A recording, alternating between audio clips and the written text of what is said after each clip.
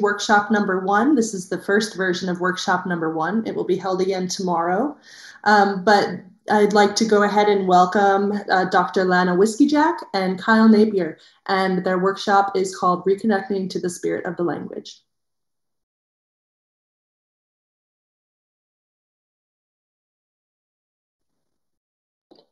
Uh, Tanse, uh, Tanse Kuel, um, thank you for, for welcoming us into um, yeah into your your time and and and uh, and considering um, and considering our work, your your role as a linguist and uh, and the and the concept and the context and the relationality of of spirit as it relates to language.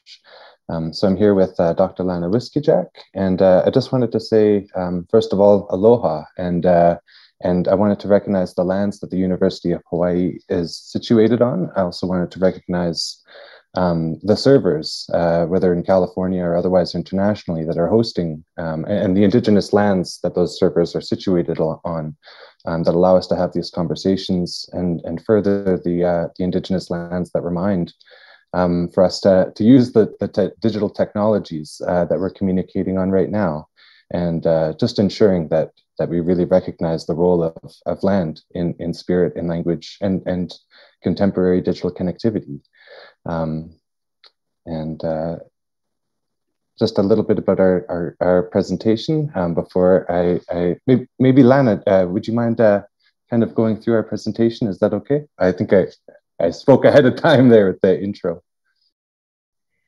Yes, Tansik Akianawagamaganak. Hello, my relations. Um, today we're going to be talking about, um, well, introducing who we are as uh, researchers and uh, servers of this beautiful research project.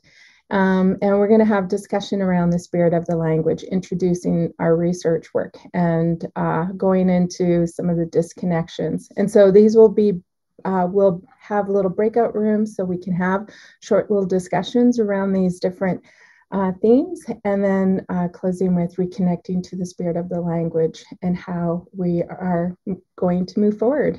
Thank you. So with that, I'll introduce myself and uh, Danse Kakiao Nito Demtek Lana Whiskeyjack Nitsigason Onexkapone Kotsinia Egua Edoskean Otapas Nekiao and the assistant professor in the Faculty of Arts and Women's and Gender Studies at the University of Alberta. I am from Saddle Lake Cree Nation. I'm a Nehio Esquel, a Cree woman. And uh, I always love to introduce myself in my language because the root words of both my name is uh, for a short kind of English translation. Um, and I am from, which are important ways of introducing ourselves as as Isinuak, beings of this land is that it is the Utsi um, Nitsi connection. So when I'm introducing myself in my language, I'm actually telling you who my belly buttons are connected to, which of course reflects that, you know, Nehioak were matrilineal people who identified and honor our women's connections.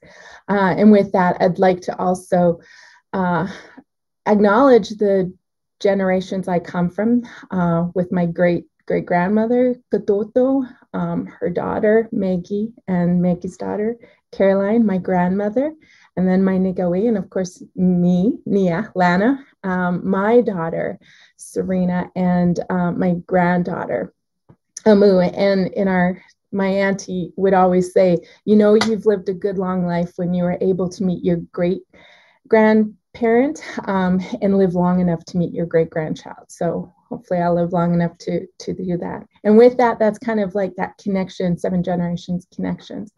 I'm a graduate from the University of Nehalia Thayets Nistame Maganak Blue Quills, which was a former Indian residential school where two generations of the wombs that I come from attended.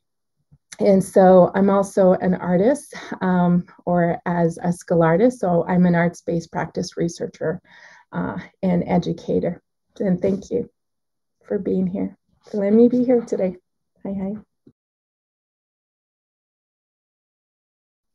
And uh, Kyle Napier Netsikatson, Maga uh, Sazi Kyle Napier Sulye. I'm connected to both Ene Dedlaneyati and Sagao Nehiawin, um, both of which are uh, endangered indigenous languages, um, which are facing uh, problems around recognition. Dene Uh, I had the um, privilege of being able to share at this conference with my elder Eileen Beaver, as well as um, uh, I'm, Lana and I have been connected in language work for at least half a decade now, and and ancestrally for thousands of years, I'm sure. Um, and so I'm just excited to to bring my role in the convergence of of digital of a as a digital technologist and a communicator and a media maker um, into uh, the world of Indigenous language reclamation, particularly with the languages I'm connected to. Um, from Thebacha in Denende, and colonially that's referred to as Fort Smith, Northwest Territories in, uh, again, colonial Canada. Um, so what is is Nehiawawin, at least when, when we're here talking about our own language, um, which is Nehiawawin, it, it's, it's, what it means is like Nehio, we're people of four parts of the soil. That's the root in the, in the, in the, um, the morphophonemic understanding of, of Nehio. It's a polysynthetic language. It's not gendered in the way that, um, you know, many of, uh, many global languages are. Um, the how it's colonially referred to as Cree, which is actually not uh, a, a Nehio word. It's not Nehioan Nehioan word. It's a it's a, a colonial um, kind of co- conjunction of, of words. And um, there used to be six hundred thousand words in our language that were awoke. Um, but now there are there are roughly fifteen thousand that are awake, uh, according to Reuben Quinn, a, a really renowned uh, scholar and and linguist. Um, so you know, there is a decline in language speakers, but as a lot of people recognize, there's a there's a there's a, an increase in the number of of those who are learning uh, the language as a second uh, a second learner, um, particularly those who are ancestrally connected. So, um, in our own work of of recognizing the spirit of the language, we knew that we had to hold ourselves accountable to communities. Um, and so, in the same way that this conference recognizes uh, community uh, oriented and, and focused and prioritized protocol, um, we also uh, prioritized uh, the work of and words of those who were sharing their knowledge and words. Um, even right before we joined our conference today, we uh, we, we, smudged and held ourselves in, in, ceremony, Lana and I, partly because of nerves, but also because of, of spirit and, and reconnecting too. Um, and uh, and so in this in in in the process, we we held um, Lana Lana held many kind of one-on-one um, recordings, which were like in, individual interviews and, and recordings, and uh, and and a few different um, sharing circles and dialogue circles where people were invited to join and, and share their um, understanding and context around spirit, uh, disconnects to the spirit of the language and reconnects to the spirit of the language. Um, following that, we uh, ensured that those who did share their words were able to hear and, and read how we're using their words in the nature of this project. So actually this, this uh, presentation isn't really based necessarily on the words of, of those who shared um, their, their words for our work then, but mostly around the, the process and coming to understanding of the themes that we found emergent. Um, so we borrowed heavily from the words of in, indigenous scholars, um, particularly uh, Dr. Margaret Kovach and Dr. Leona Makokis, uh, themselves both Nehio scholars, um, around understanding um, both in, insider outsider uh, research. Dr. Margaret Kovach was really good at that because we are both insider outsiders in this. We're insiders as both Nehiyawak and um, and outsiders as as as you know bringing bringing an academic uh, kind of uh, paradigm and process into into uh, those communities. You know, we're, we're still tied to ac- uh, the academy. And then um, I really particularly am drawn to the work of, of Dr. Jennifer Wemigwans, who reminds us to work with digitized indigenous knowledges uh, to treat them as ancestral as uh, ancestral bundles as digital bundles in the same way that you would treat a medicine bundle um, and so once a recording is is digitized uh, to treat it in the same respect that you would um, a medicine so a lot of really good reminders there um, I'll just quickly introduce this slide and then um, Lana will talk more about what the spirit of, of language means and then we'll invite you into, into groups. So this is just a photo of, uh, of Matilda Lewis, who is uh, the mother of Dr. Kevin Lewis, who runs uh, culture camps uh, and a university accredited land-based Nehiyawin immersion camp it's amazing. Unbiasedly totally biasedly it's amazing. Um, so anyway what in, in her hands is holding this small birch bark canoe. And um, actually at this camp they made uh, a much larger actual out of birch uh, bark canoe. And i had taken this photo and um, in order to share this photo i actually uh, uh recognized and got permission and gave copyright to matilda who you know that defies you know uh, typical copyright law. But also um, that being you know the, the the the language camp that we're working with they're constantly looking for funding so um, the funds that we received from both ICLDC and um, an award that we received for this photo, um, any funds that we've received through this project, we've funneled through Kâniyâsihk Culture Camps. So just ensuring that the community receives um, the benefits that we do as, as scholars. And then Lana, do you mind uh, walking through the spirit section? Yes, thank you. Um, so uh, was there another slide for that or? Um, part of the intention with the this work was uh, I'm a language learner. I, I grew up with uh, Nehiyawe speak Nehiyawewan speakers, and um, but it wasn't passed down to me. So part of this work is is reclaiming that language for my own self um, as well as connecting, not only connecting to communities, building those relations, but also to strengthen, which is a really important part when we're doing this kind of research work.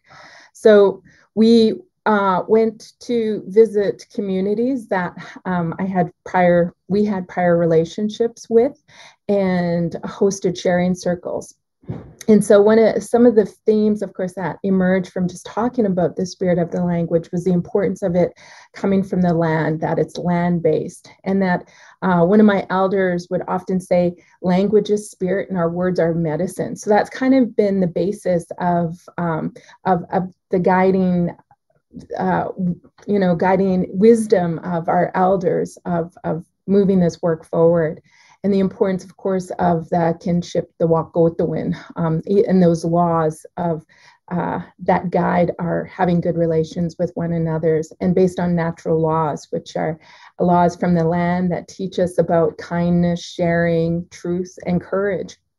And so, um, yeah, it's been an incredible um, journey to be able to work with our communities and language uh, warriors, in a sense, to continue to move this work forward.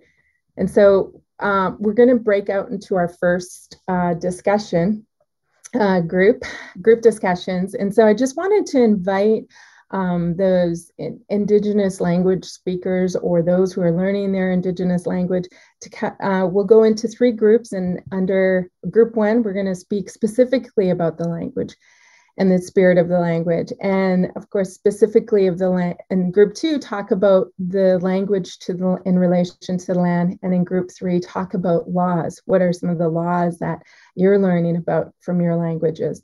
And so, kind of some of the protocols we wanted to place in these group discussions is that um, to make it specifically um, to the Indigenous language. So, those who are are not um, it, it, land-based indigenous language speakers to have hold as a space of listening of active listening and when we come back if you could also uh, nominate someone to speak and give a, a very short um, kind of closing uh, brief summary of your discussions anything else kyle That's right. So there are three groups in the breakout rooms. So if you go down on Zoom to that little ellipses, that little dot, dot, dot, if you click on that, there's three different breakout rooms. So yeah, the first one will be group run one, where you'll talk about language as it relates to the spirit of the language. Um, land as it relates to the spirit of the language is group two, and then group three is laws as it relates to the spirit of the language. And then um, we'll reconvene in about in about 10 minutes. So um, feel free to talk uh, candidly amongst yourselves. We uh, won't we won't jump into your call. We'd like for you to kind of have that organic space as it as it emerges. And again, if you're if you're not in an um, if you're not uh, ancestrally connected to um, the indigenous language that you're working with to try to hold a, a space of listening. And uh, we'll see you in, in 10 minutes. Okay, so just as a reminder um, that those little ellipses are, are down if, and on Zoom. If you click the little dot, dot, dot, it should say choose breakout room. Okay, so you click the dot, dot, dot, choose breakout room, and then there's three, um, three different breakout rooms. And if we start noticing that there's actually quite a number of people here uh, still in the room, uh, we might randomly assign people.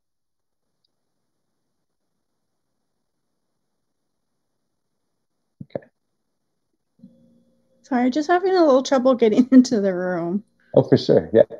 Um, so, uh, what, what platform are you using? Are you on an iPad or a computer? Yeah, I'm on a MacBook Air. A MacBook Air. Okay, so just uh, um, yeah, I know Zoom's a bit a bit tricky. Um, so when you move a mouse, mouse around, uh, do you see a little bar at the bottom?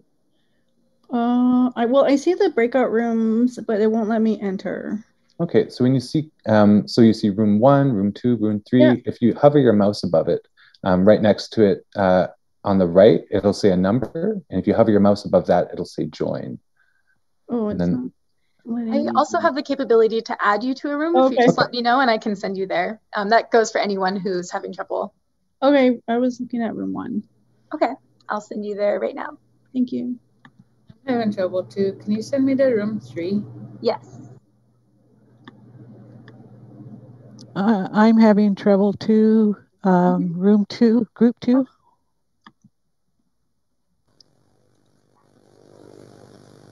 I'm having trouble too. Mhm. Root, uh, group one.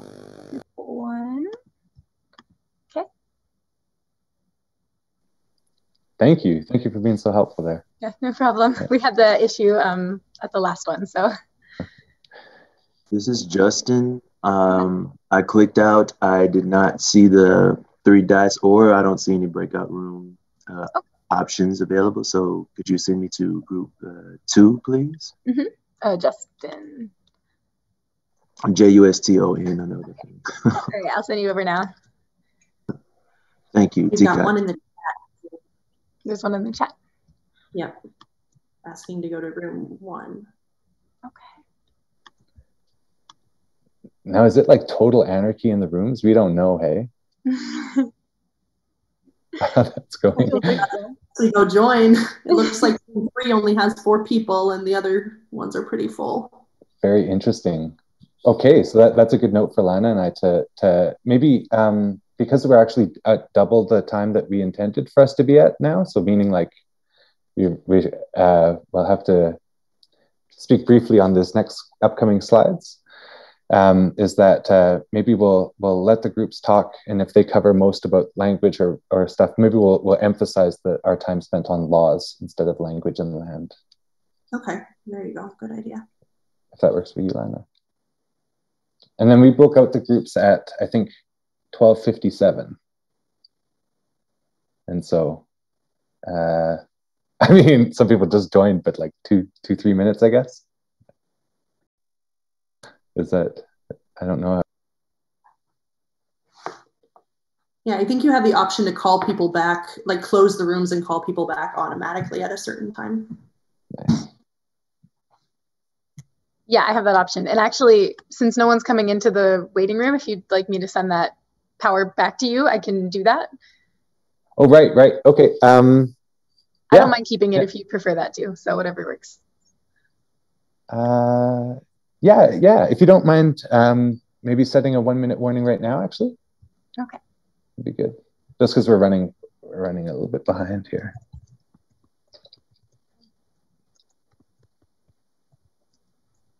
I like that people are changing their names too. They're putting the parentheses here to listen on their names. That's pretty Whoa! La- Whoa! Holy! We're seeing seeds of mobilization. Or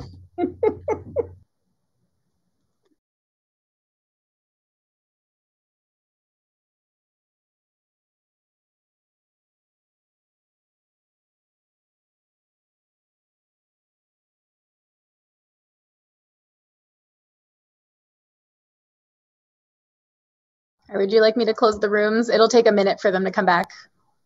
Uh, yeah, when when the minute is up, that'll be good. Okay.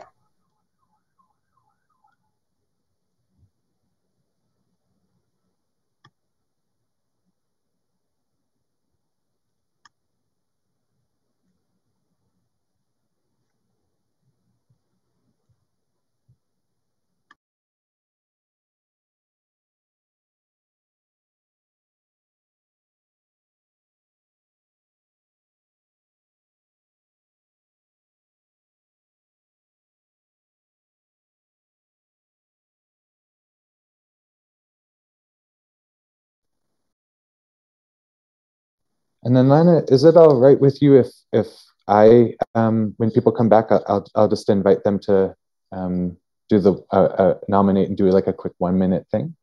Um, does, yeah, that way. And then the rest of the section will be yours.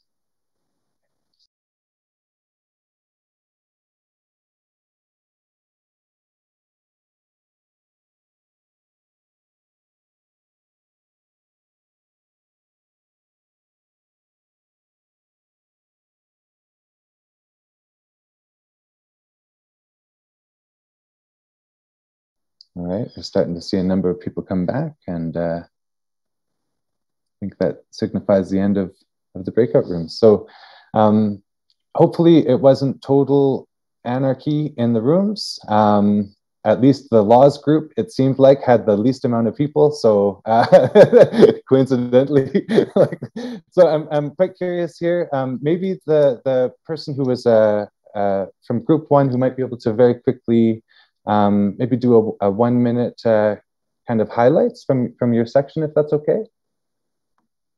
I'll, I'll do the uh, breakout room reporting. We just sort of sat there for a while, didn't know if someone was coming from the main group, one of the one of the instructors, and then we're like, oh yeah, I guess nobody's really coming.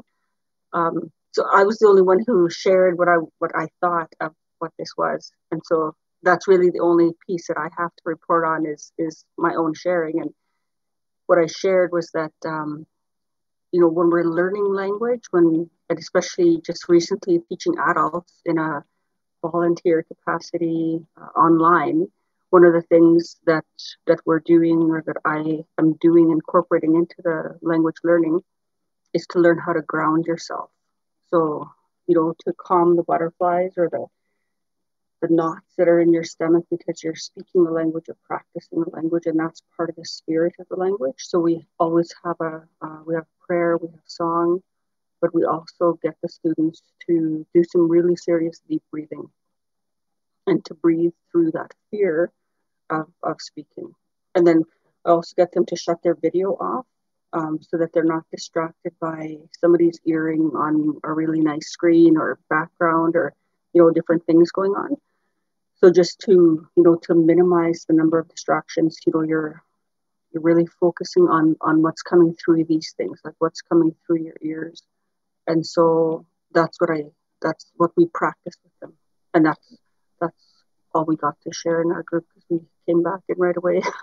Amazing. Thank you so much. And uh and i really appreciate that. And that is just a, a really great reminder about you know the um, the, the power of language as it does as it does connect to the spirit. And we're going to talk about some examples of what we learned um, as well. Uh, could someone from uh, group two uh, talking about land as it as it connects to the spirit of the language? Maybe a very very brief um, kind of highlights, if that's okay. I want to respect your words, but also our time here.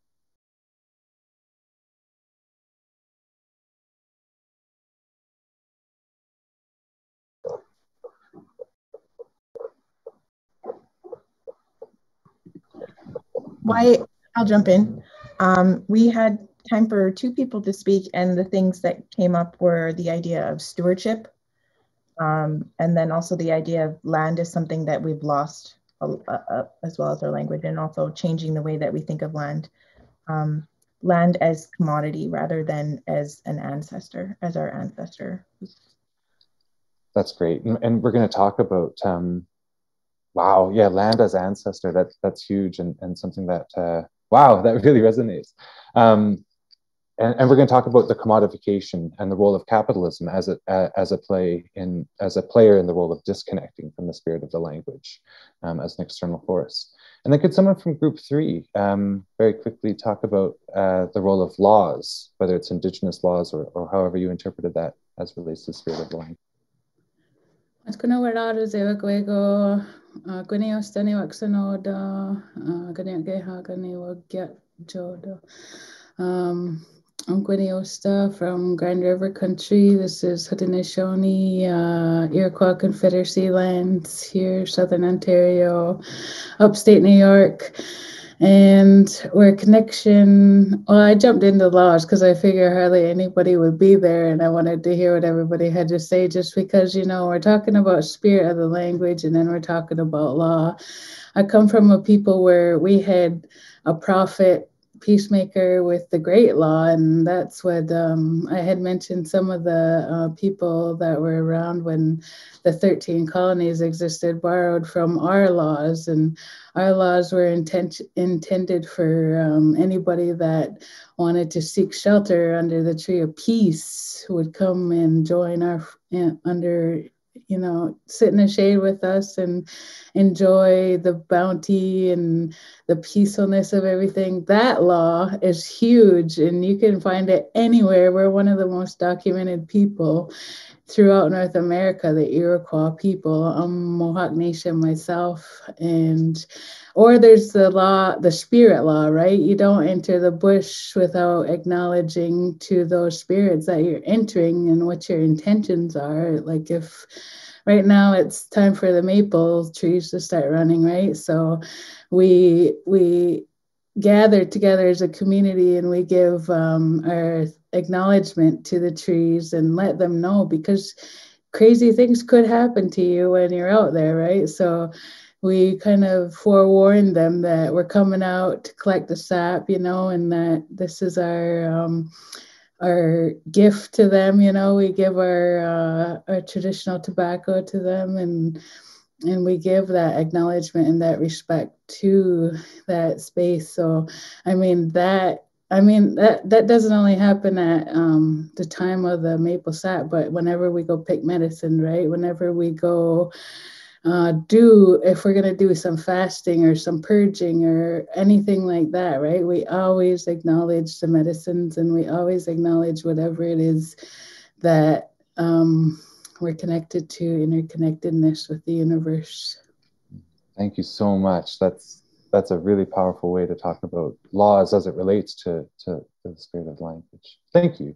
Um, and then, um, Lana, I'm going to um, uh, invite myself to take a step back here and for you to talk about um, what you've learned from this. Hi, hi.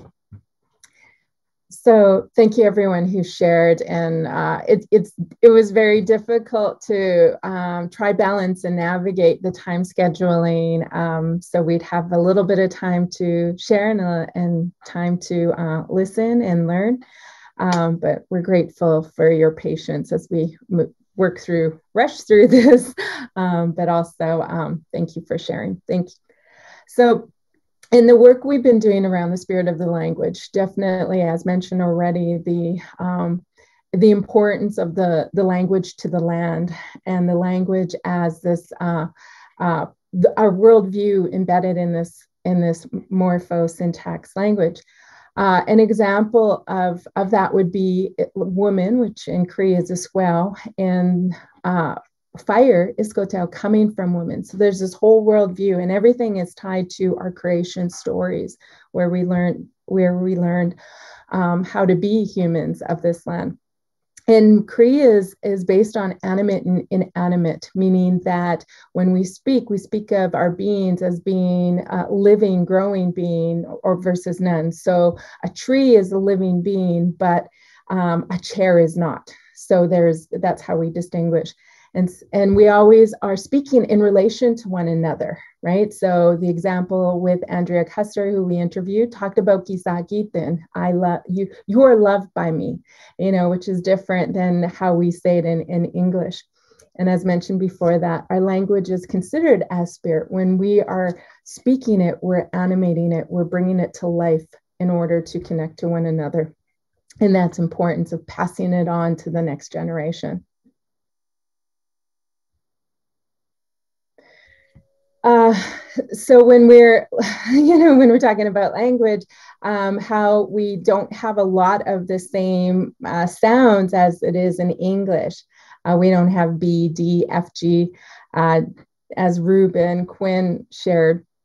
And when we pass, you know, when we're talking about our ancestors, we talk about them and how they brought the spirit into the world. And one of the best practices in kind of learning the language has been through our syllabic. So learning, um, you know, the visual, we're very visual people and the syllabics being um, our spirit markers. and uh, it's one of the ways I'm I'm fluent in reading and writing syllabics, but I'm still learning about what I'm when I'm listening to someone speak Cree. I can do the syllabics um, because of the sounds, the importance of that visually seeing the sounds. Um, thank you. And then, of course, we go into um, our land-based how our language comes from the land and the importance of when we're engaging with the language it's it's um, it's connected to uh, the you know as as mentioned about with the laws the importance of like that connection to our medicines to those beings of the land and so land-based education is from what we've heard from our um, from those we interviewed is the best practice like in order to connect to the language you have to connect to the land and so, and that we're constantly, when you're learning in that connection, to learn and love, because that's the what, uh, as um, Sky mentioned earlier, as the land, as our ancestor is constantly sharing that love. Uh, and and you know when we're speaking about love too like the importance looking at the language of how everything is interconnected. so when we're like for example when you're looking at um, the word for strawberries is meteimina. Um, it's a heartberry and and one of the ways in learning about you know the medicines of the land um, it, often in the language it tells you what those medicines are for. So strawberries it looks like a heart um, is is our heartberry it's a medicine actually for our heart as well. And so it's really important that we have those uh, those connections uh, teachings and learning about those medicines through uh, connecting to the land uh, when we come to the laws, uh, every like our, our laws come from the land. We learn the laws from the land, and like the trees teach us about about honesty. The, our grandfather mountains teach us about courage. Our you know from our buffalo to our moose, they teach us about sharing. And as you know, we've heard earlier from Gwenny about you know the law um, tree of peace and the spirit laws those that it comes across all over what we call mystic um, also known as as uh, turtle island um, of that there are so many of those teachings within the language that we we have become disconnected with but those teachings have always been there as each of those exist those relatives have existed from trees to rocks Uh, and of course, the importance of learning those laws within our ceremonies. And so, as mentioned in the first, from the first group, the importance of how we need to um, connect to that spirit of the land through our ceremonies and through the language that we use. So, um, you know, when we when we are when we're in our, our prayers, when we're in our pipe ceremonies, our sweat lodge, or the ceremonies that each of our different diverse uh, language land groups have. And so those are ways of, of learning how to be a better human being, of, of seeing from that worldview. And one of my um, aunties, uh, who was part of our research work, uh, talked about that. You have to use ceremony. And to me, that is spirit. Like it's part of that getting grounded, getting connected to the land, to those elements, the rocks, the trees that are so important to our ceremonies that we have to begin there was was constantly being repeated throughout our, our work. Thank you lana. Um, now this next theme subhead uh, where we were talking about the spirit of the language, well, now we would have to talk about the disconnects from the spirit of the language, um, whether historical or ongoing. So I just want to preface this part of the discussion by saying that it does include sensitive subject matter, um, particularly around residential schooling, genocide, diaspora, and ideological imperialism. Um, the intention of this uh, part of the discussion is to recognize institutional harms while ensuring that there is room for uh, for dual belief systems. Uh, there had been a group um, a group uh, option for people to join groups to discuss to discuss uh, disconnects. But I think, um, in interest of time, that I might just talk about what we've learned in our research, and then we can spend more time talking about um, reconnecting to the spirit of the language. So, if you don't mind. Um, so here are just some things that we've learned um, throughout the throughout the discussion from people present uh, sharing their words with us. Um, we're we're you know having identified this the what is the spirit of the language that disconnects became emergent through you know impacts of course of, re- of residential schooling um, through starvation sickness disease um, through the role of, uh, of, ca- of capitalism particularly um, in westward expansion through train lines um, the role of genocide not only in removing people from their their families and their lands but also um, killing um, all of the animals that were relied on, both in relation and subsistence.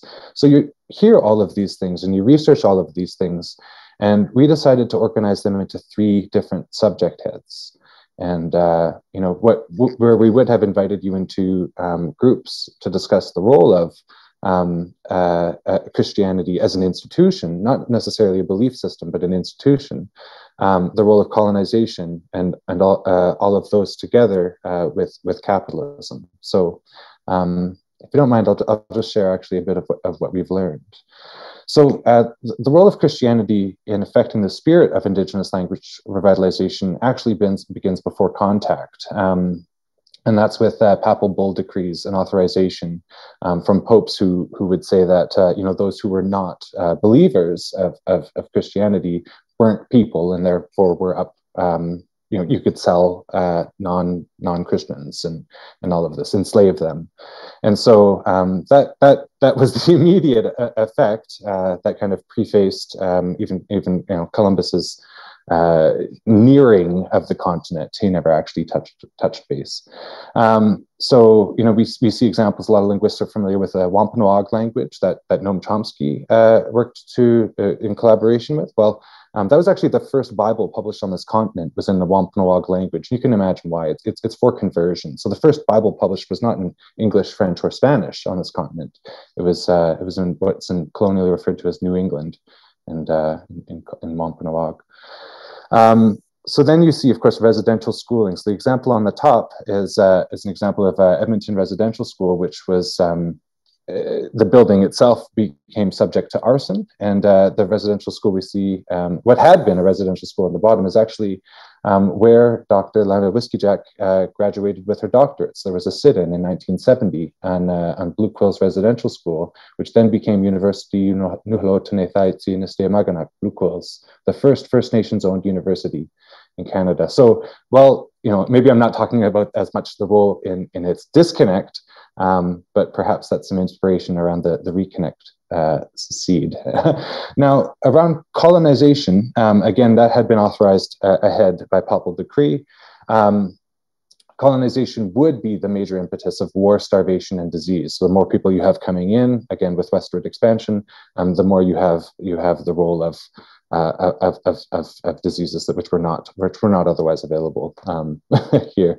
So uh, you know with this, we see the participation and and and almost and, and almost forced involvement of Indigenous people in uh, larger international wars, um, particularly with with language. Um, you know, you, you see recognition of you know the the those who were who were um, speakers of the language being able to code talkers they were referred to. So you see the abuses of Indigenous languages not simultaneous to their supports or recognition. At the same time, resident, uh, that that um, Indigenous languages were abused for war um, residential schools existed and people were beaten for speaking at, at, at home. Um, so, uh, you know, with, with colonization and with Rupert's Land, we see these are all the, of the treaties, at least in our, our uh, situation in Canada, uh, colonial Canada, uh, previously the Dominion of Canada, previous to that, Rupert's Land, as it was assumed to be owned by Hudson Bay Company. While um, Rupert's Land, in its assumed ownership of the land through corporatization of the land, um, then sold the land to Canada um, pre-treaty, and then right Canada recognized uh, the uh, the queen recognized the need for legitimacy through treaty making. Um, and so it's that need for legitimacy of treaty making um, which begetted uh, the signing. Um, and it's these treaties uh, which would be abused and, and um, essentially lies on paper. Um, might be a good way to describe them. Uh, and then again, with, with, with capitalism, um, we see that the role of co colonies having to be practical, so profitable, right? The capitalism didn't emerge uh, in, in the 1600s. Prior to that was mercantilism, when these new colonies had to pay back to, um, to the queen, right, to the, to the crown. Um, and so they had a need to be profitable. Well, with that comes um, uh, industrial revolutions. We see the first industrial revolution, the steam engine. Um, we see the second industrial revolution, the need for um, for, for, gasoline. And with, now, with, with each of these, think about what's happening, right? So, uh, so with the need for, for gasoline, 1876, uh, you see more of a search for gas and oil up in kind of northern territories where, where Lana and I from. A lot of people know where Fort Mac is. I'm downstream from Fort Mac. Um, literally, there are families that I'm related to that cannot drink their water because of um, the need for gasoline globally. So um, then we see the third industrial revolution, which emerges in the, in the 1960s, uh, which is the microprocessor, the reason we're using a computer today. Um, and then the fourth industrial revolution uh, colloquially Industrial Revolution 4.0, which is digital connectivity. Now, with digital connectivity brings anglophonic bias and a need. You know, if you're if you're if you're at all a coder or work with you know digital languages, you see that it's a, predominantly in a, in a bully language, right? You can code in in English, you can't code in Nehiyawewen.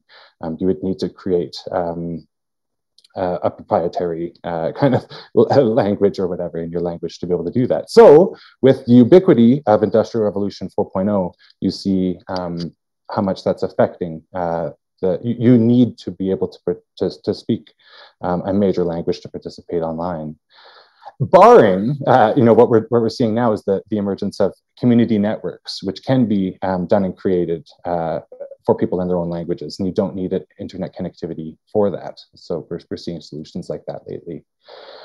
Um, and uh, yeah, so so thank you for for for hearing me talk a bit about that instead of um, inviting a larger dis discussion. So thank you for your patience. But that does allow us more time to talk about um, the reconnects to the spirit of the language. So Lana, if you don't mind uh, moving this ahead. Way, thank you. Uh, just to let people know, when when Kyle was working through that tedious uh, lit review of looking at all the laws and policies, and specifically in Canada, but we did look also, of course, the international laws that affect our treaties. Um, was reminding Kyle to constantly smudge through this because this was really heavy work of looking at. Oh my goodness, the amount of laws and policies our government did to oppress and disconnect us from our lands has yeah it, and is still you know and then the fact that we're still so many of us just trying to fight for clean water and for our relatives to be living on lands that is being so uh, desecrated by by industry. So thank you for sharing that. And it's important that we know those systems in order those systems that affected those disconnections and affected you know our own bodies as beings of this land in order to transform it into reconnecting. So this is um, part where i talk about the reconnecting to the spirit of the language.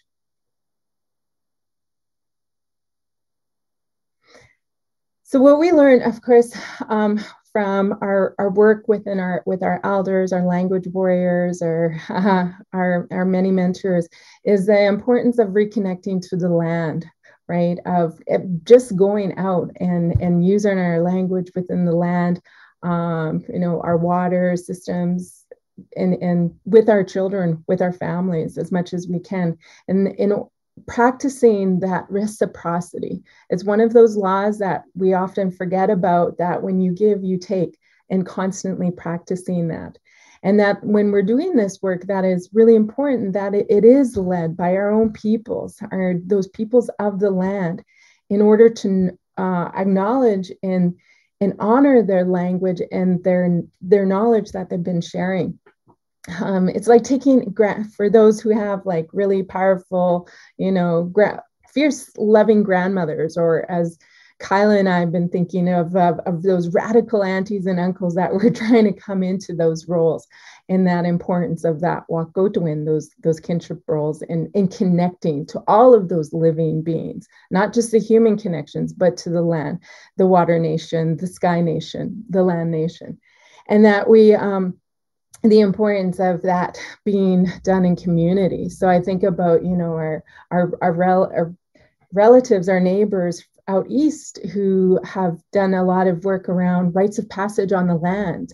And I know in my community, we're doing rites of passage and connecting those elders and, and the younger um, generation in building that the wahkohtowin, those relationships. And the importance of humor. Oh my goodness, we laughed a lot through this. Even through the trauma, reading about the trauma, we had to laugh through that. And that really kind of shook us to keep us grounded. So this is, we'd like to spend a little more time um, in going into the different groups again and talking about the spirit of the language. And again, just reminding those uh, to be, uh, who are don't have that ancestral land connection, language connection, uh, to be active listeners. And uh, I'll let Kyle organize it from here. Mm-hmm. So if uh, if the um, if the host wouldn't mind setting up three separate breakout rooms, uh, in the meantime, uh, I invite people to consider um, again those those different groups. I mean, you can you can break out with uh, you can you can uh, choose or reconsider which group you'd, you'd like to join. Um, but uh, in talking about reconnecting, now having heard about uh, the disconnects, to consider ways you might reconnect to the spirit of the language.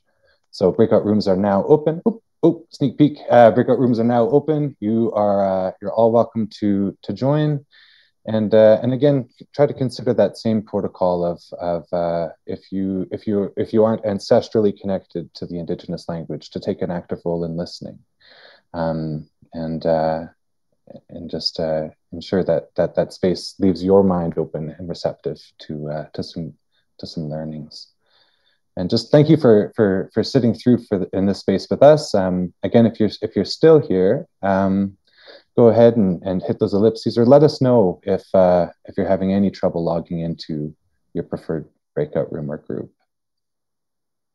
Thank you, Leah, for for opening up those breakout rooms. I didn't mean to pop that surprise at the end. I think I guess that's what happens when you close them. Yeah, it was no problem. They were already ready, so don't worry about it. Whew, we can have a little break. We get to go. I might grab some food down the block. Is that how much time do we have? Oh, we didn't say. Okay, I guess it's our jurisdiction. You want to give them a bit more time so they can have a little bit more conversation. That's right. Yeah. How are we doing for time? We're um once they come back, because yeah, let's let's give it like probably ten minutes from here, maybe and then that'll put us about halfway through the pres or about an hour through the presentation. So we would have half an hour after that. Um, maybe I should have talked about the should have opened up the disconnect spot. I don't know. Now we're way ahead. That's great. Rather yeah, have that. Well, it would leave us to have a little bit more discussion at the end of conversation or Q and A or yeah. With the braiding. Yeah. Yeah. I'll, I'll broadcast a message to everybody saying that they have 10 minutes. Is that what you guys decided? At, at 10, at, at uh, the 15 to, to the hour or, or whichever. I'm not sure how to phrase that with international time zones. Okay.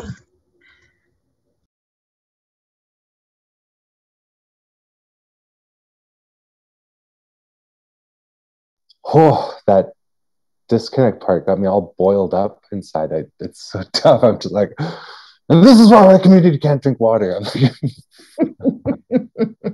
it's hard not to be so emotionally, mentally connected to this work. So, honestly, yeah.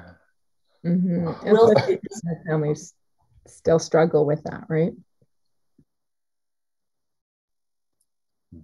What's that, Ashley?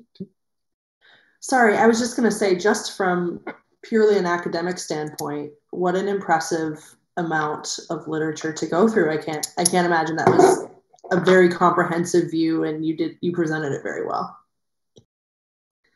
despite the subject matter.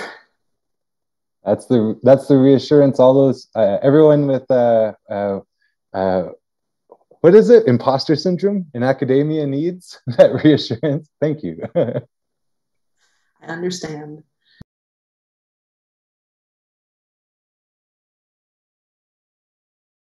I also think it's important to acknowledge that connection you have, right? Like how important this work is to you. So um, I appreciate your passionate, animate um, presentation to Kyle. So, miasin.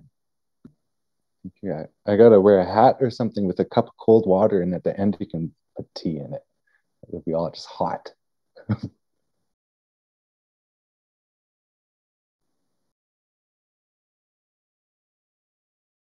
yeah, I'll be right back.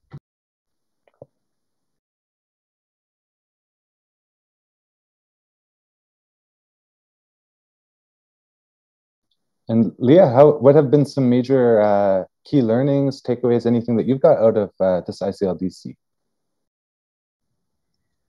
I always like ICLDC because I don't work in um, with languages in the United States or North America, I guess, and so it's always really great to ground in a different conversation um, and be reminded of the different situations that exist throughout the world. And it's always really nice to have that learn those new things that I'm not quite as connected with because I'm elsewhere. Where's your elsewhere? What's your connection? Um, I'm in Indonesia. Yeah, so across the world. wow. And, yeah, and which, oh, we just have such different, such different discussions, right?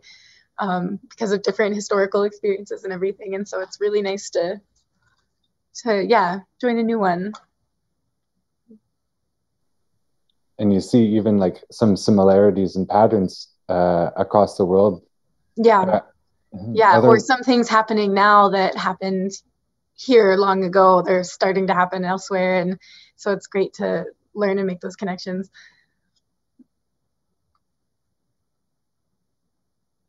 Yeah so thank you guys for your for your conversation. I'm enjoying it a lot. Yeah, thank you. And Ashley, making sure making sure we don't we don't uh, trip up too hard. Ashley, if my if my connection disconnects, you got to take it from here, okay? You're good to go. oh,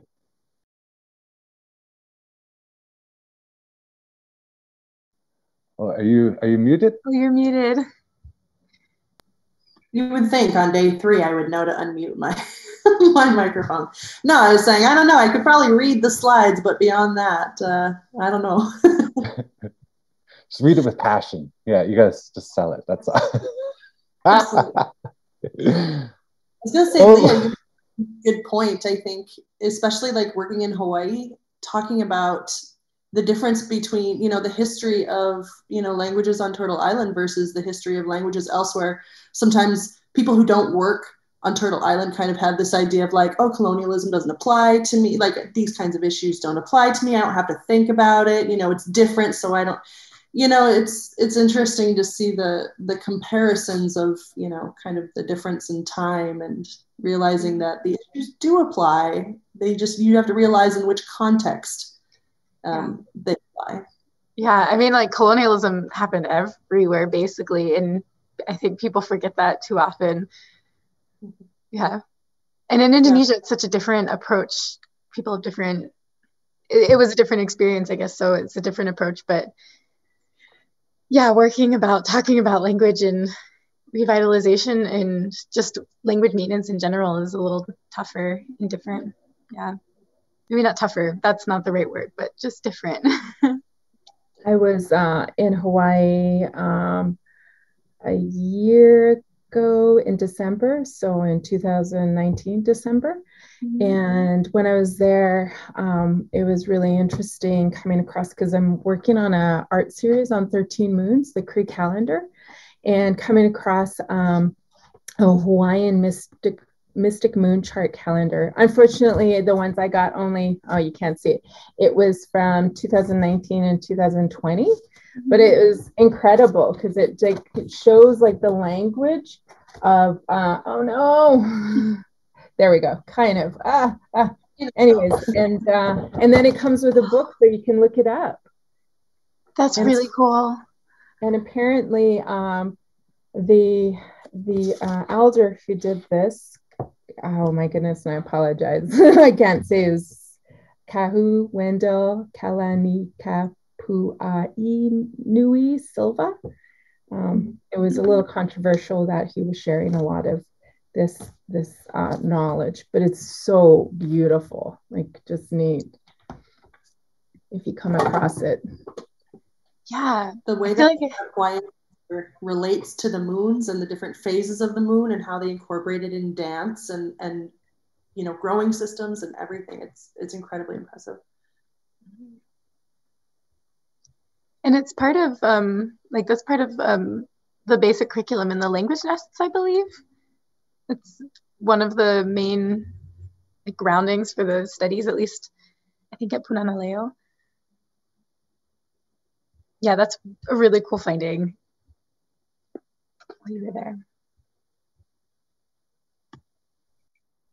I'm glad you were able to visit Hawaii before all of the COVID restrictions. That's incredible timing. It was, yeah. I was um it is it was actually a really powerful spiritual uh visit there. I had really powerful dreams that um I'm still incorporating in the work I'm doing now. So it's pretty neat. That's cool. I think uh, we might send out the one minute warning uh, shortly here too. Mhm.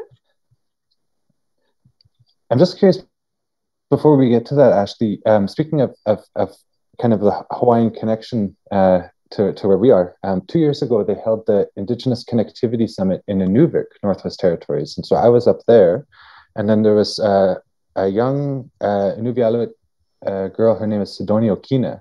She has uh, I think uh, multiple sclerosis. So and and but she they flew she flew from the she attended one uh, of the connectivity conference, and then the next one was held in Hawaii, uh, about um, the digital divide as it relates to Hawaii. And so I'm just curious, yeah, if you've if you've heard uh, if you've heard of that conference at all, or and, or the connection of connectivity to language before everyone gets back here. I'm really surprised that I haven't heard of that of that conference. That seems like it would be right up my alley, something I would want to find out about. But that's really cool. I haven't, So- I haven't been up to Inuvik. I've always wanted to go. The furthest north I've been is is Northwest Territories. I've been up to Dawson City in Yukon, but haven't made it up to Inuvik yet. minus 50 i think it was last time i was up there in celsius yeah which does which in fahrenheit is still pretty close yeah. My husband's family lives in northern Alberta in high level, so it gets pretty cold and stays pretty cold. So I have a little exposure to that, but Edmonton isn't as bad. high level wait are you are you you're calling in from hawaii though No, I'm in Edmonton right now. oh i was like Oh, crazy. Edmonton. yeah, my husband's family's from high level, so I've spent some time up there. Well i'm so glad that you're that uh, you know someone who who is at least closer closer connected to to where we're from as uh as someone who's helping out that's so that's so great ashley i didn't realize that I know you're talking about Fort Mac. I'm like, hey, I, I, I know the area. I'll start bringing people back. Is that good? perfect yeah It'll be another minute, but just want to let you know. I can't believe how fast this is going. it's like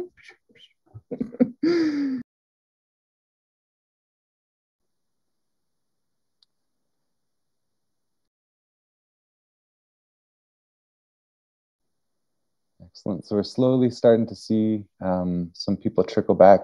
Uh, just while we're waiting for everyone to come back, um, uh, how, how did the com- maybe some just help help for us uh, before we deliver the next um, the next workshop tomorrow, uh, uh, what, what, what kind of might be might be helpful for for you before we open up people to breakout rooms? Would it be helpful if we had like a, some steps on how to join them or or how to get the conversation started?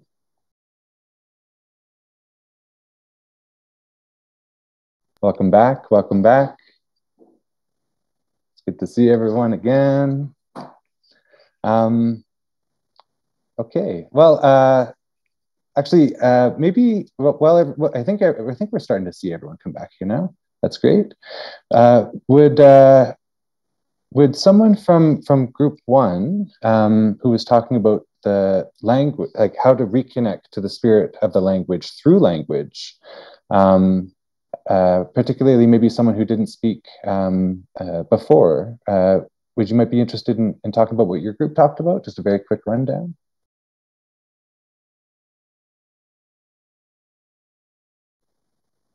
My apologies, I wouldn't know who to nominate. Uh, I didn't jump in the group. I don't know who was there. It's a very quiet group for language group.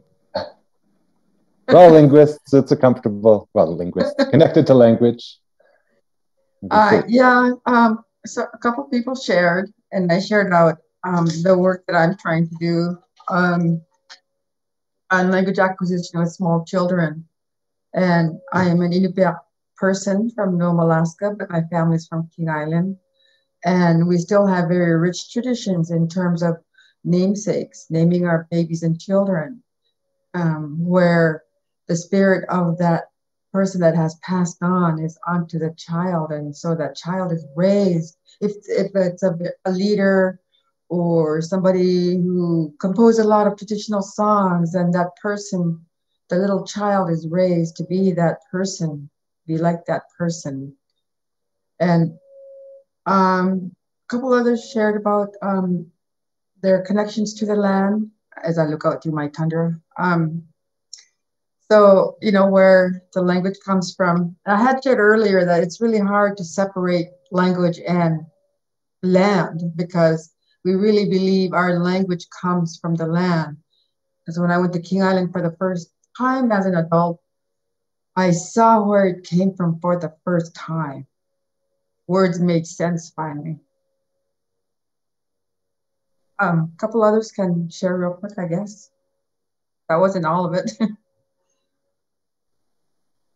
that, that, and that's a really good uh, uh, that, that is a really good and important sharing talking about matrilineal connection or or at least the, the importance of namesakes and and transgenerational knowledge uh, sharing. And that's something that we learned too is the the importance of uh, of uh, of learners whether they're whether they're themselves uh, young or or um, or just young as learners, right? Regardless of, of age, mm-hmm. the, the, the, process of learning. Um, right. And uh, and I, I, especially appreciate uh, an Inupiaq and Inuit uh, connection to namesake. Um, right. that is uh, very distinctly uh, different from from my own uh, connection to namesake. So just recognizes. Right, right. So when you talk about disconnection, there what there is that disconnection with our young people, that tradition, that you know how you raise your child and it's very different to raise a child in that language with those beliefs.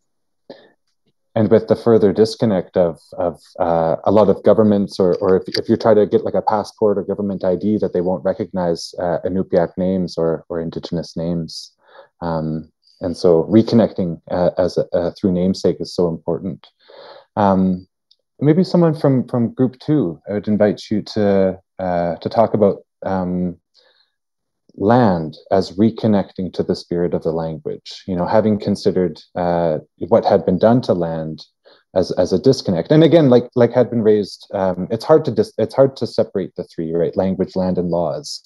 And uh, you know it's it's not necessarily like they are separated um, but perhaps someone from group two you might be able to talk about land as, as reconnecting to the spirit of the language um, I, I took some notes and I volunteered to kind of be the spokesperson again um, this time. Because I, I just mostly I just took notes from the other people there um, that shared their you know their their thoughts which were really powerful. Um, and uh, a lot of what came up was talking about reconnecting was talking about um, part of reconnecting is acknowledging that disconnect um, that some of the things we do are using resources that are hurting the land and that there's there's no way around that. Um, and that um, there's things going on in our territories um, like and and some of us spoke about like even specific things about the bones of our ancestors or about the water, about not being, our, not having our um, our government set out lands connected to water anymore, the water that we should be connected to or that they they should be connected to.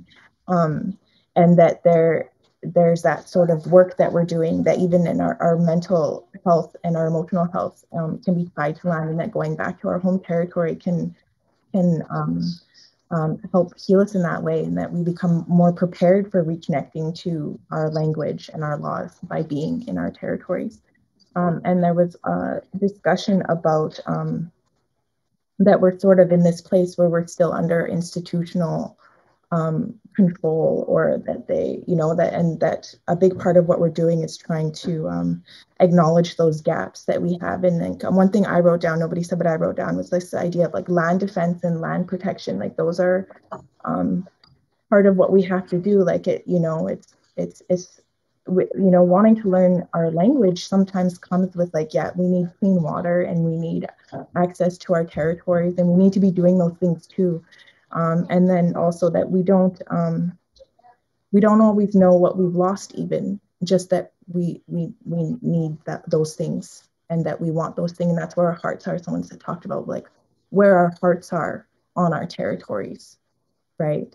Um, and uh, one other thing too and then oh they also uh, someone mentioned that one like even one person can be like one drop like a ripple and that also and working intertribally um, to to fill some of those gaps, right? We're not necessarily in this alone, um, and that and then someone said that resiliency in itself is a way of reconnecting, too. That um, a lot of those steps are important, you, know, um, simultaneously.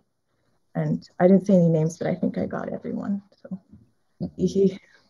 And that's so important talking about how um, how, about resilience and how uh, it, it's it's like you're you know as Nihil we're we're full parts of the soil right? Lana and I in our language, and so you know the land it, it's inseparable all of this, and one thing I wanted to recognize um, in, in, addendum to what you're saying is that uh, you know from the Hawaiian context is the you know the the land land defense around you know and it's not maybe it's necessarily not necessarily my role or spot to talk about the appropriate you know maybe it's inappropriate for me to talk about this but uh, you know people are aware of the observatory um, the, and the, the um, i think the, the, some astronomers that keep trying to put this observatory in a very spiritual um, spot uh, uh, in hawaiian lands. And and you know again I, I, have never been there. It's not my role to talk about it. But um, you know in in in that it's almost like by putting an observatory there it becomes a disconnect from Hawaiian connection to sky, star, and space, and you know what what Lana and I might refer to as like Sky Nation, and those that embody that, right?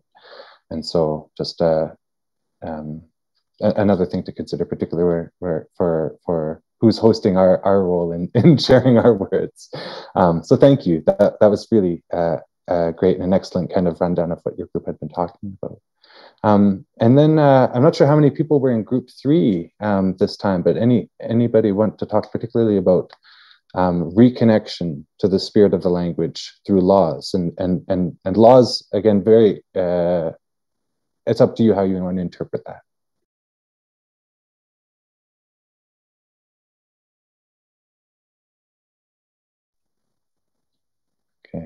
Anyone from group three who might be able to to guide us through that?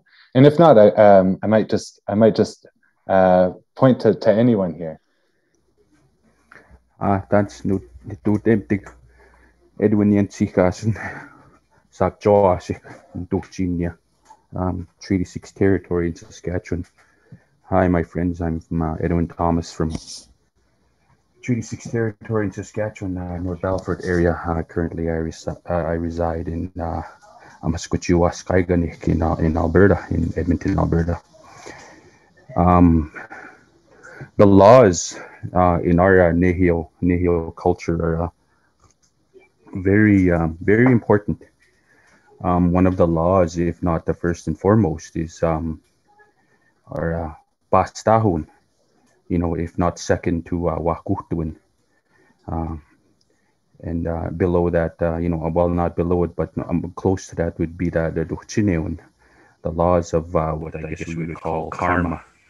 and um, you know um, whatever you do you know there is always a, a, reaction to it you know there's a consequence to whatever you do that is not to the benefit of your fellow people or to the you know to the land that you uh, that you reside from um, i'm finding that a lot of a lot of thinking from our young people now and i guess the colonial way is thinking you know um, the earth needs us nah no um, we we need the earth. You know, we've we've gotten we've strayed from that teaching of you know we're part of the earth. We're we're not the ones that uh, control the earth. If you know if we die off, the earth will continue on. You know, it, it might suffer for a little bit, but once the you know the human race is no longer here, it, it'll just recuperate and continue on, and whatever life form comes after the human race is whatever the the earth chooses. Um, and that's one of our teachings in uh, in uh, in uh, from uh, know, from our Creator, is you know we have to respect what was given to us here in uh, on Mother Earth, and that uh, we we we do not control. We we are part of that. We we're uh, I guess you would say we're a branch off of uh, what our uh, what our Creator's teachings are, and we we um, we help we help to be a part of this ever growing you know uh, race of us of human beings. And if we don't respect what we were blessed with well then that can be easily taken away from us. And uh, um, I'm still in the learning process of I, have been I guess I should say I've been blessed to be able to grow up with my language from very from right from you know from home from ever since I could speak I consider uh, uh Cree Nehiyawewin as my first language and English as my second. You know, it, it's always, uh, and it's for me, it's very difficult to just disassociate with just one of these with together because they, they all three, you know, are are meshed together. You know, um, everything is interconnected. What uh, that we have our understanding and some of our uh, well, uh, from the Iroquois it, it it's similar to you know what their teachings are. Everything is interconnected. There's a reason for it. And if you, if you if you decide to you know go against those teachings well then there's you know basta and there's ochino and there's there's consequences. Everything from you know picking your plants your berries your medicines you know taking the water there's consequences to that if you if you have that greed mentality that um it, nothing goes without a, a, consequence. You know, it's it, it all has to be done with a good heart, a good mind, and and connect and connection to Mother Earth, um, all with the proper protocol and everything else. Um, a lot of our, you know, I'm finding a lot of our youth they're they're really wanting to latch onto that, and my my advice to them is, you know it's really easy to go talk to somebody, but you don't know that person's intentions um, regarding uh, knowledge and passing on of uh, whatever our laws in our languages. Um, so I always say, you know, build a good relationship to whoever you are seeking with. You know, get to know them, get to know who they are, where they came from, what they were, you know, blessed with, what they were given, um, what they what they earned in regards to our our Nehio way of uh, uh, teachings and culture. Um, it's just that it's it's really sad that um, many of our knowledge keepers and they do they do have a lot of knowledge, but they've gone astray and used it for wrong purposes, which is you know um, uh, money, and and that, that's not right. That's that's um, it's not correct. It's not our way. Um, you know we um we do have to give for whatever we receive, but it has to be connected with the way Creator um, asked of you know our ancestors to, to do so and that is with protocol or whatever it may be um, i always say you know tell the youth you visit an elder visit a, a knowledge keeper there's anything you can do for whatever they give you you can you know tidy up their home um, if if they have a vehicle pour gas for them um, clean their clean their yard or pick berries for them, pick sweetgrass for them. Anything, anything can be done, you know, other than the exchange of always money. Um, it's we do live in an age. Yes, I agree eh, that we do need money, but that our our culture and our teaching should not be the forefront of of receiving money. No, um, there's other ways. There's others. There's other um, things that can be done to uh, to acquire uh, our knowledge. Um, so it's we our laws are very important in the in the Nihil Nihil Nihil culture Nihil way of living Nihil Pamatishun. Um, and we we need to retain that and go back to uh, following those laws, and because yeah, like like an elder once told me before, you you can't you can't hold a pipe while you're you know while you're speaking English. You cannot pray for your people while holding a pipe and you're speaking English. You must speak your language because our, our language is medicine. Our language is spirit, and that spirit reaches where it needs to go with whatever prayers we are carrying with that that pipe. That is all for now. Hi hi. I really appreciate your words.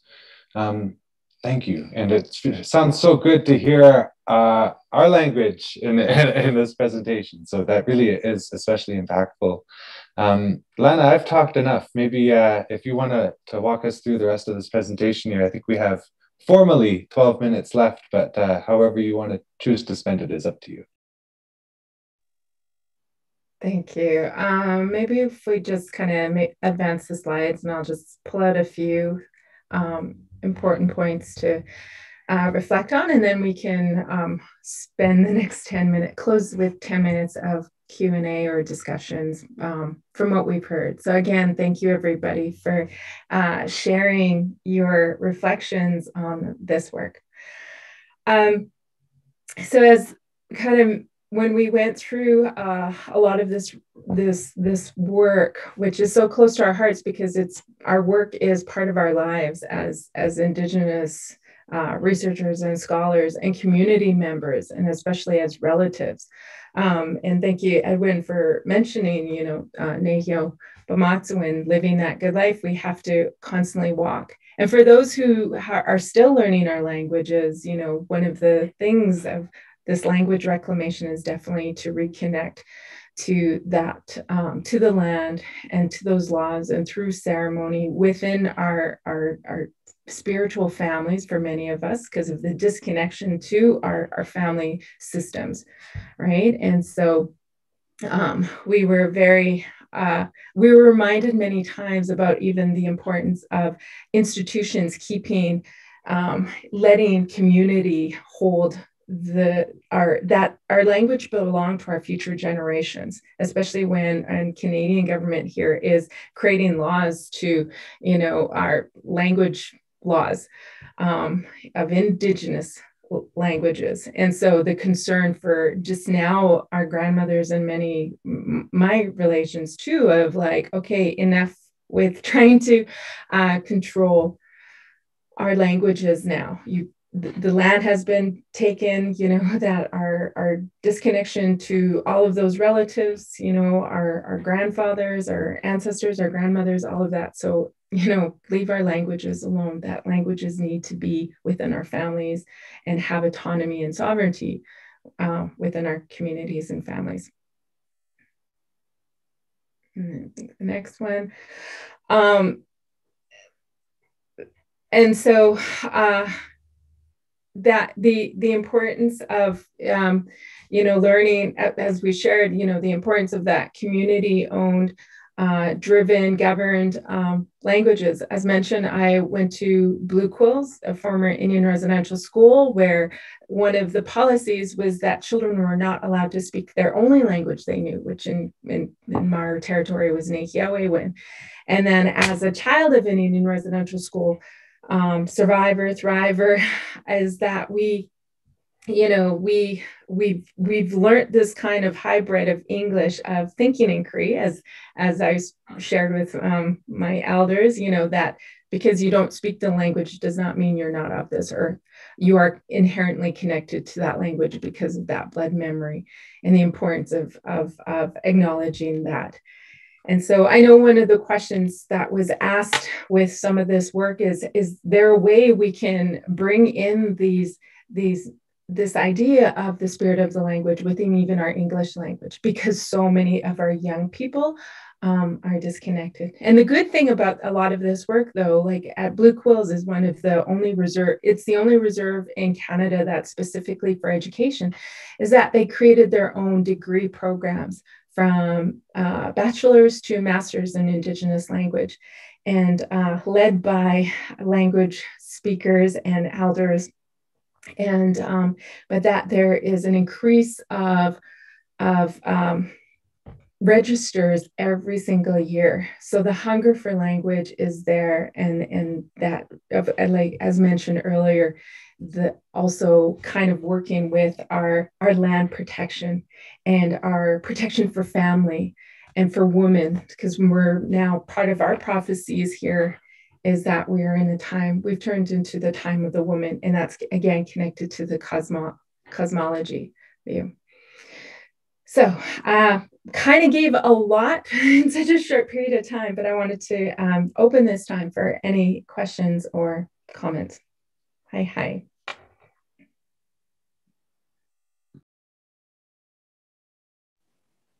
Yeah, just uh, just while we open this up here, um, like like like Edwin had had had raised is that and, and, like a few people had raised actually is that you know these things are inseparable right? Land language and and the laws which govern them right? Um, and so just in in um, lana had phrased it to me to to weave those braids together to weave those strands together because that's that's what we'll need to to make this whole. So um, we'd just kind of like to close the um, close our workshop here with a with a more of a, an open discussion um, around uh, you know first we talked about a kind of a history and some context there as it relates to our language. And we talked about the role of harms and and and the reconnect would be the role of healing. Um, if there are any key takeaways or anything you'd like to discuss um, yeah feel free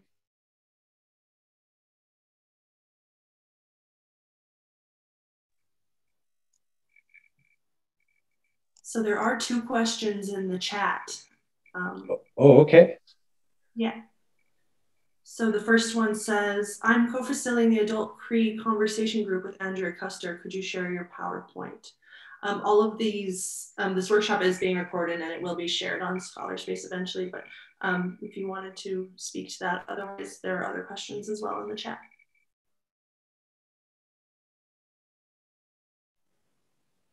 Lana, what's your your thoughts on that?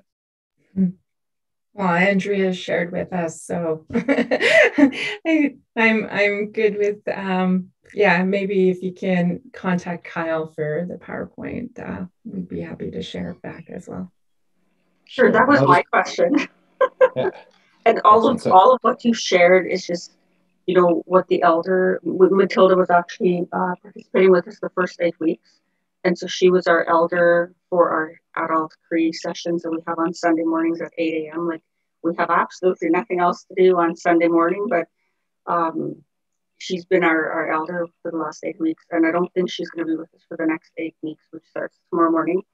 But all of what you've said and what Edwin has shared and then others have shared are just an affirmation that we're on the right track and uh, we're doing the right thing. So didn't ask for none.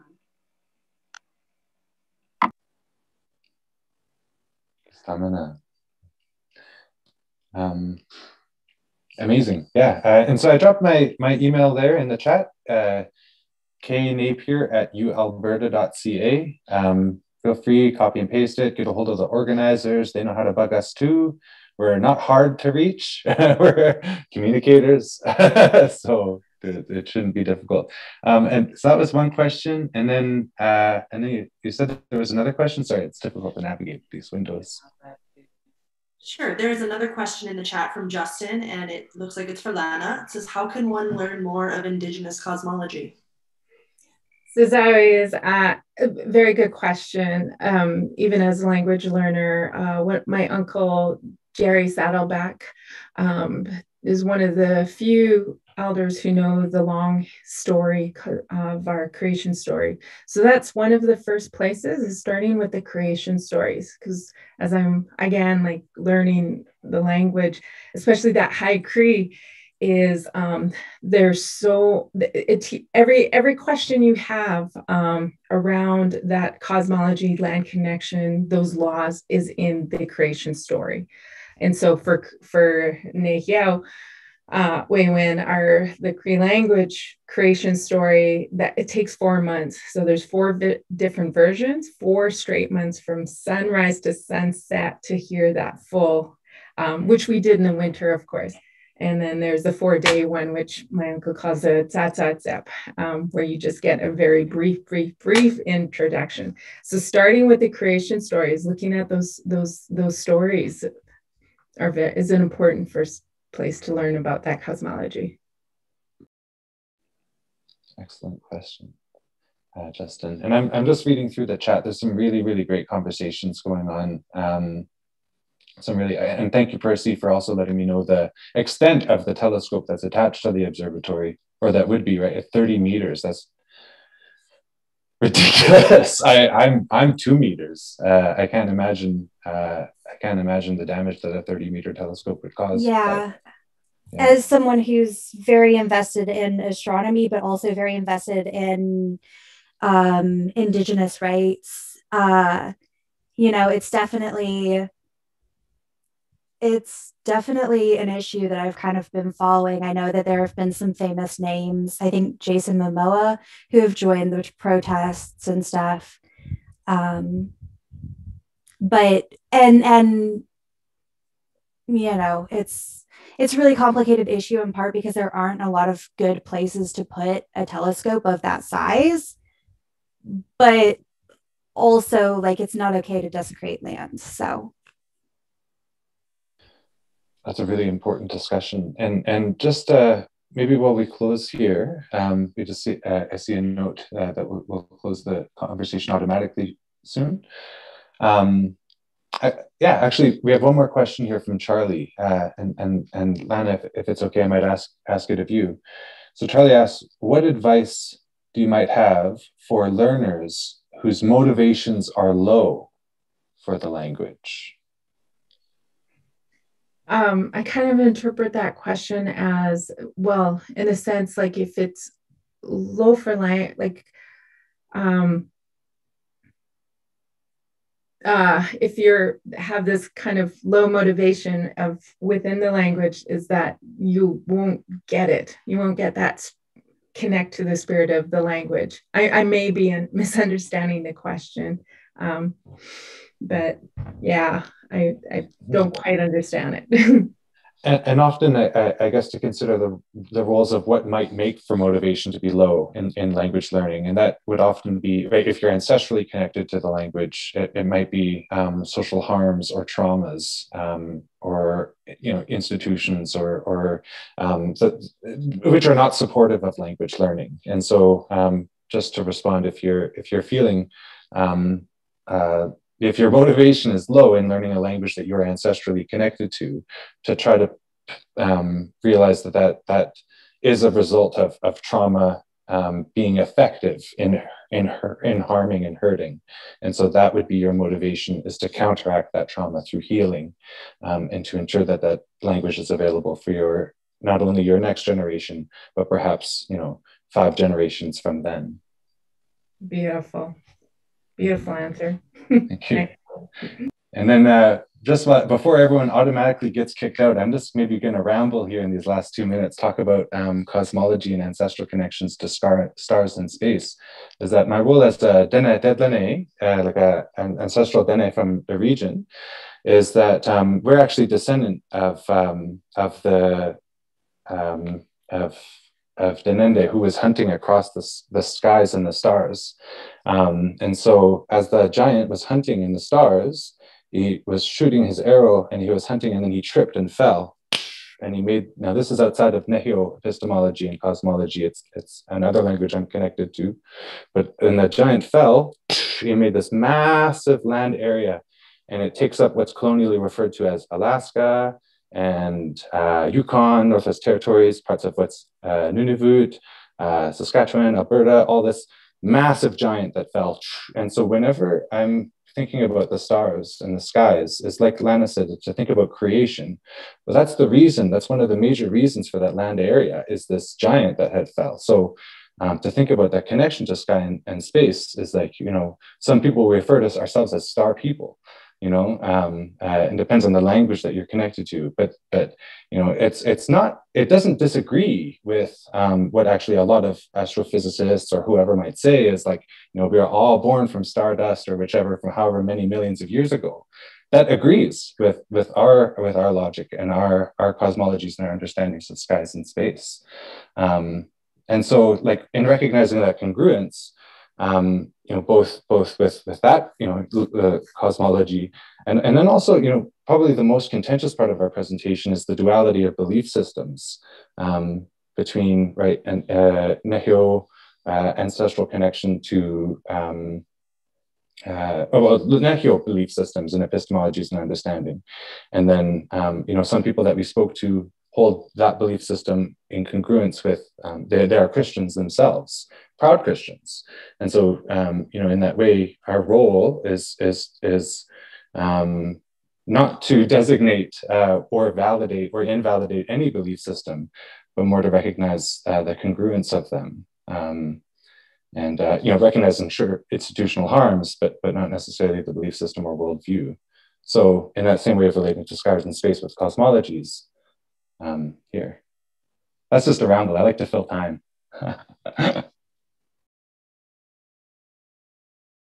we're seeing um, some more words. And then Lana just dropped the website, spiritoflanguage.ca.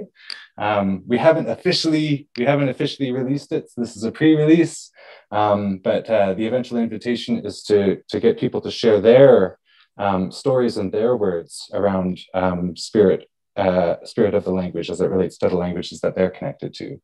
Um, but great reminder, Lana, to make sure that we share that. and then thank you so much. Uh,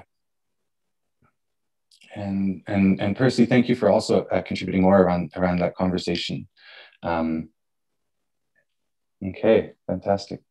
I guess uh, I guess everyone's going to get kicked out here technically at 2:20. So Exemaga, Mr. Kananasko. Um, and Lana, if I, if uh, if you don't mind closing. Hi, hi, Mr. Here. Um, then I'll skumte now kakiano. Nuwagamaganak. I thank you all oh, with all my heart, all my relations. Hi, hi. I'm wishing you the best in the rest of your time with ICLDC. Yes. Mm-hmm. Oh, cool. Thank you. Anyway. Kistamana Tenaga Chan. Uh, Gilikasla, uh, that was very informative.